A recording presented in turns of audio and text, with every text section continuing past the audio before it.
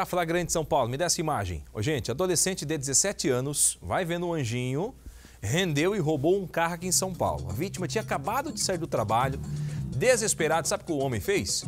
Ele, gente, correu atrás desse criminoso, a polícia também foi chamada, o carro não tem seguro.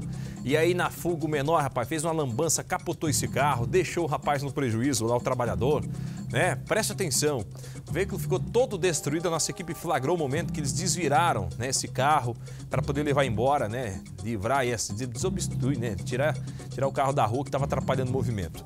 Nós temos reportagem sobre essa história para você. Olha o que, que esse adolescente de 17 anos, com três passagens pela polícia já, fez. O carro todo destruído não tem seguro. O veículo ficou assim depois de uma perseguição policial.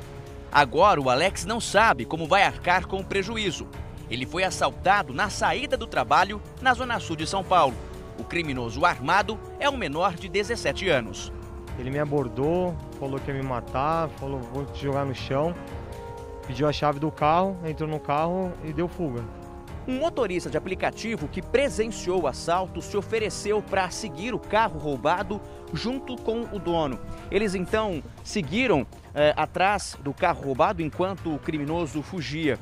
E aí esse criminoso, ele passou em alta velocidade por uma viatura da Polícia Militar e os policiais perceberam que algo estranho estava acontecendo. Imediatamente, o que, que os policiais fizeram? Os policiais fizeram a abordagem, pediram, exigiram que o criminoso parasse o carro, só que ele se negou, ele continuou fugindo. Houve aí então essa perseguição.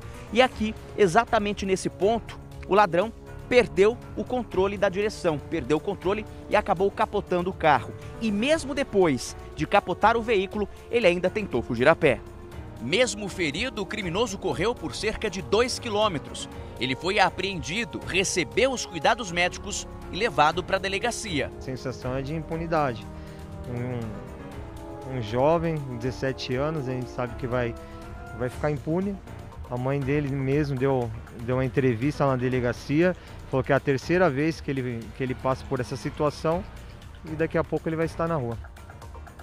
Quem paga? Nesse caso, né, tá conversando com o Jorge Wilson, é o seguinte, ele pode entrar com uma ação contra o Estado, né, a ação demora para sair, mas é praticamente ganha, né, e o governo do Estado depois vai ter que pagar, ressarcir o prejuízo do trabalhador. Mas isso, para isso acontecer, são 10 anos de espera na justiça, né, gente?